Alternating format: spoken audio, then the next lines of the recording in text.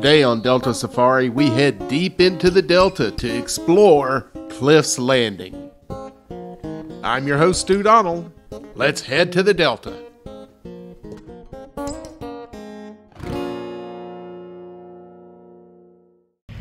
I'm at a great place today. This is Cliff's Landing. And there's some speculation on the origin of the name. It be those cliffs right up there? Or was it the fact that the guy that used to run this place was named Cliff? I think both are probably true.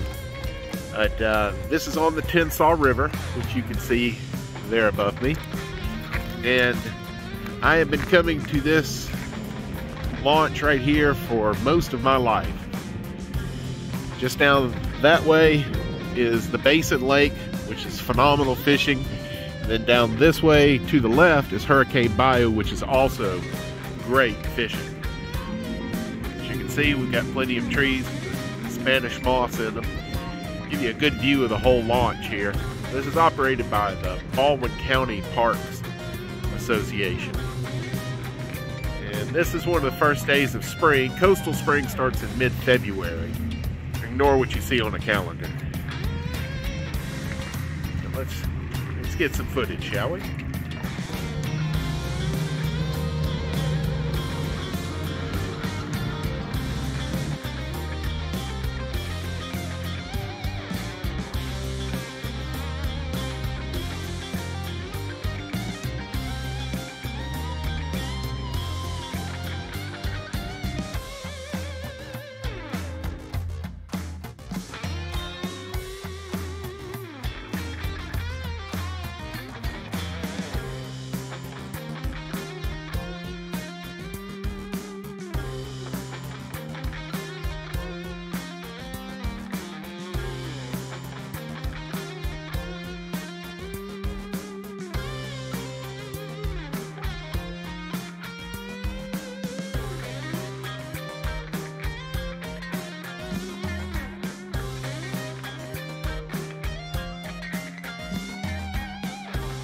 There's a whole lot of important information here. So feel free to go back through this section and pause it and zoom and whatnot. Especially the whatnot.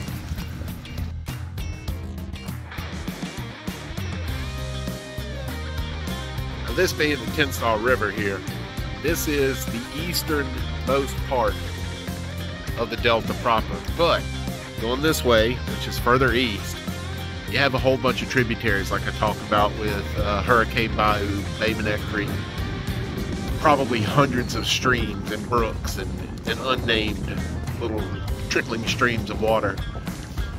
But going straight out that way, that takes you into the heart of the most central part of the Delta. Not a whole lot of people live there, and the ones that do have to get to their home by boat. There's no roads up in that area. And up in here also is where you're going to find some of the incredible things that this delta has. Like, for instance, uh, the Bottle Creek Indian Mound is up in there. The largest cypress tree in the state of Alabama is up in there. And, uh, oh, just all kinds of mystery, all kinds of adventure.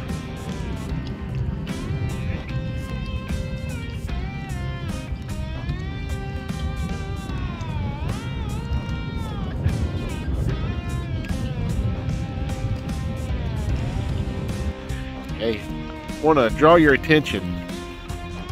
What you see there floating in the water, that is not an alligator. That is just a chunk of wood. And that's one of the things that makes navigating this river so dangerous. Did you see how most of it is underneath the water? If you're flying along in a bass boat or a ski-doo or something, you may be on top of that before you ever spot it. It makes this river very treacherous. With that, just stunning.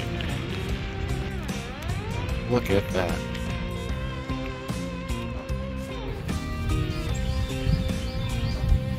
Imagine living in one of these houseboats right here on the Tensaw. having that as your backyard.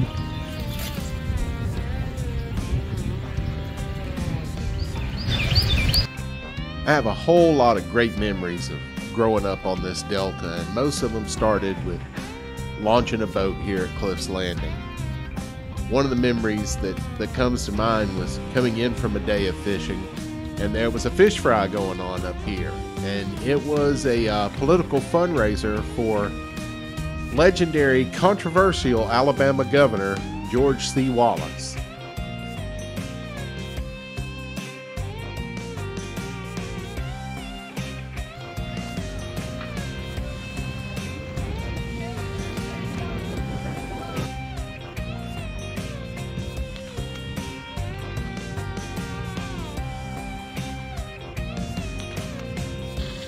So I'm sitting here walking around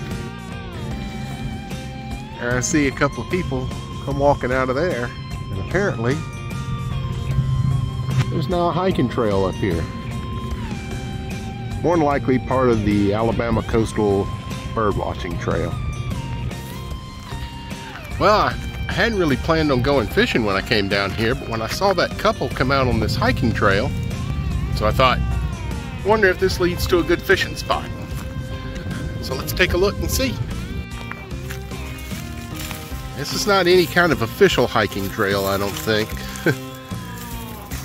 it's not well kept if it is. But our goal is to find a spot to go fishing.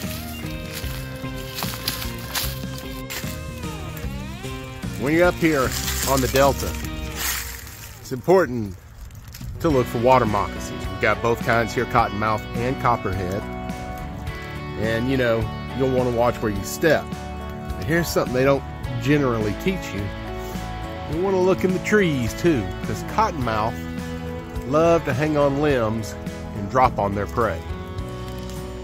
Don't be prey. Well, looks like I found my way down to the river. Let's see if we can catch something.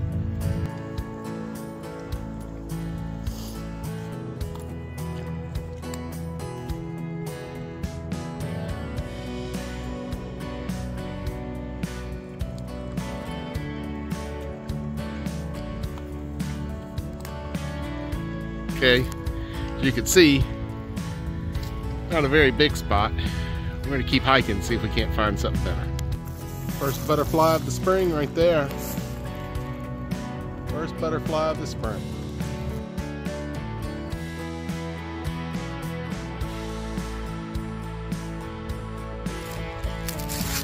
See nice little wide trail here.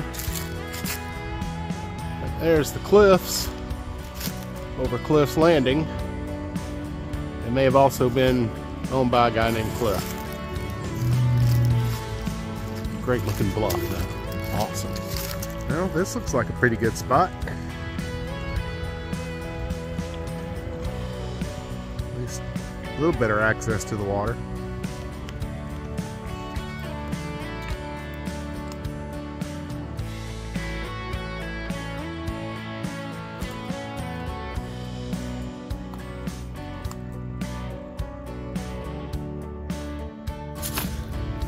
Come up from down the hill that way. And the path continues up there. But this is kind of interesting. I'm no archaeologist, but I'm willing to bet that that is legitimate signs of human habitation right there. That probably used to be a business or a home that sat on this bluff over the Tensaw River. Imagine waking up to that view in the morning. All right, I have explored this little trail about as far as it goes. As you can see, the trail is actually asphalt. This used to be a driveway or a road to, I'm guessing a trailer park or, you know, campground because of the parking area that's up there, but there's no other buildings. And it may simply be a case of this was going to be a campground or trailer park and any one of a million things went wrong and it just stalled and nothing ever became of it except this nice little hiking trail right next to the Tensaw River. It's a nice little hike though. I figured since they had that wonderful pier back at the boat launch, and I already went to the trouble to get my fishing gear out,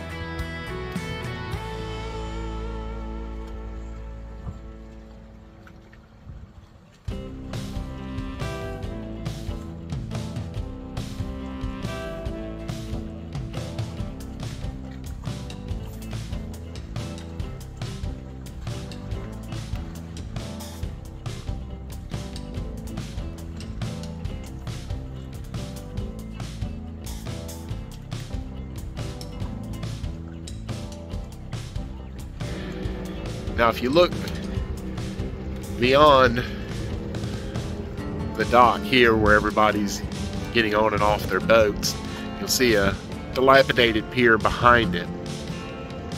Well, on the other side of that, when I was a kid growing up, was a ship graveyard. There were a couple of old freighters or tankers or something. They were just sitting there rusting out.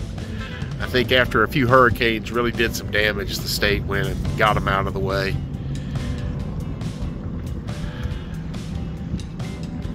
You can see, it's a wonderful little park here. Some picnic tables that are covered over there.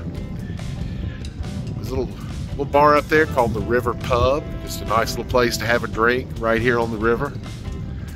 You've got this incredible parking lot. Down there are some houseboats. I mean, that wouldn't be a good way to kill a weekend. You wouldn't even have to launch the boat. Just drop a worm right off your dock reason I've come here is to visit a new barbecue place. I have not tried it yet, but it is all the rage here in Baldwin County. It's called Shotgun. We're about to go check it out. I first heard about Shotgun Barbecue from my co-host on Sip and Chew, Mike Bailey, who heard about it from a group on Facebook called Baldwin County Foodie Group. So I'm here to, to check it out. Mike had rave reviews of it. Everyone in the Baldwin County Foodie Group has raved about it. So we're going to see what all the fuss is about. I can tell you this though, they have great taste in YouTube shows.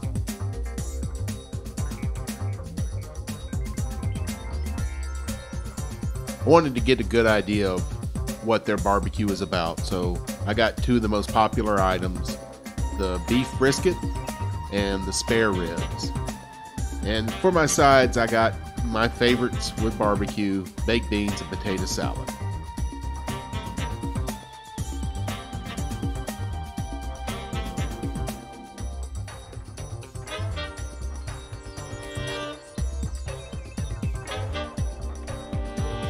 I know you may find this hard to believe looking at my slender stature, but I have judged a barbecue contest or two in my day and this one hit all of the notes. There was a great bark, good smoke flavor, cooked perfectly. That semicircle when you bite into a rib, that's a sign of a perfectly cooked rib. If it falls off the bone, it's overcooked. And that brisket was absolutely dreamy.